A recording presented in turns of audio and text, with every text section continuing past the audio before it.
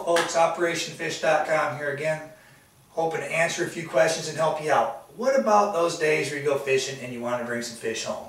How do you keep your fish fresh? Where do you put them? Well, I have some ideas for you. We could go right here. Simple little soft-sided cooler.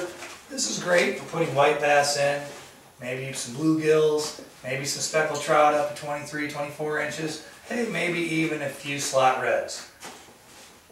We need something bigger. Sometimes there's just bigger fish. How about this? We go with a cooler. Full-size cooler, easy, easily fits in the back of my PA-14.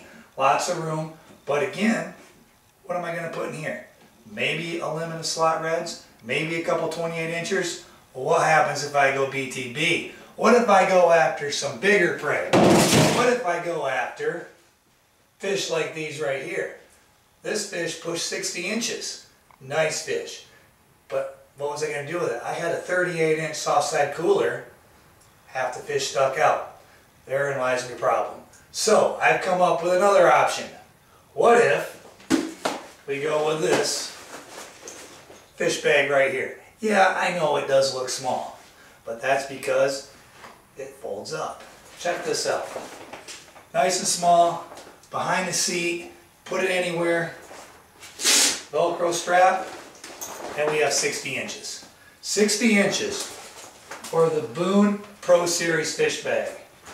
It has heat sealed seams, quite large, quite durable, folds up, easy, cost efficient. You can get these in various sizes. There's a 19 inch by 58 inch soft side cooler like this for $115. There's one that's 19 by 62 for 125. They have one that's 23 by 70 for 135. They even have one that's wider and deeper, 30 inches by 65 for 145. And you can buy these at a lot of different places.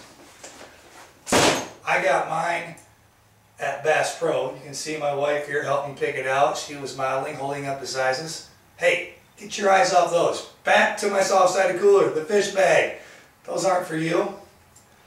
Or you can easily find them on Amazon, eBay. They're all over the internet. But it's a great, affordable, cost-efficient way to buy a durable fish bag that folds up, easy out of the way, and can handle some big fish. And I've been using mine for a couple years. It'll hold ice and keep your fish fresh for almost an entire day, even in days where you have extreme Texas heat like this. Thank you folks for viewing, OperationFish.com, signing out.